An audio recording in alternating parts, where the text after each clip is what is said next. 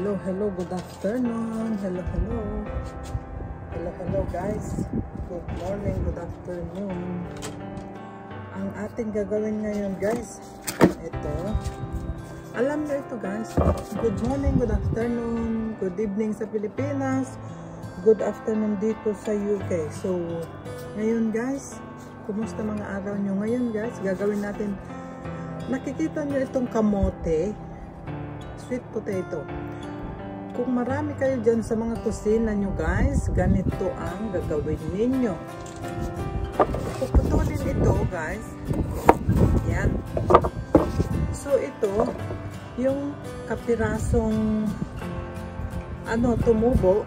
So ngayon pwede nyo itong itanim guys. So ito pwede nyong lutuin. Alright? So ito guys, pwede nyong lutuin, uh, itanim. Then magsasanga ito. So gagawin natin guys, ito. Itatanim natin dito. Guys, para magiging talbos ng kamote. Yan guys. O ayan.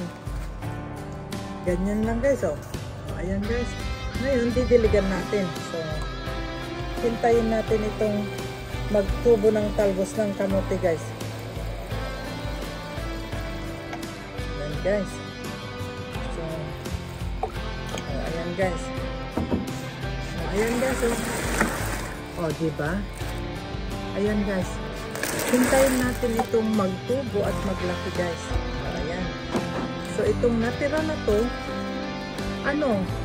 Lulutuin kong dinding guys ng may dahon ng malunggay, talong, okra. O, oh, ayun guys. So, ito guys, nakita niyo yan guys. O, oh, ayan. Tutubo yan. Ayun guys, oh. tutubo yan. Gagawin natin, gugulayin natin pag lumaki na yan. So, mabubuhay yan guys. Ganyan ang gagawin nyo sa kamote. Pag meron kayo dyan sa mga kusina nyo guys.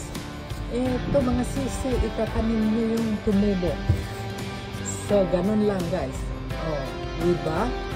Easy. At hanggang sa muli, tignan natin sa susunod na pag-grow yan, kamote. Talbos ng kamote. So, hanggang dito na lang mga sisi, mga lalabs. At sana meron kayo natutuhan. Easy lang guys yan. Yan. Para tutubo yan kasi mainit ngayon. So, lagyan natin ng maraming tubig. Ayan, guys. So, kita-kita tayo muli, guys. Ito ay lulutuin kong dininding. Mga lalabs. O, sige, kita-kita tayo. Ingat. Bye. Ang yung aling lisa. Mm.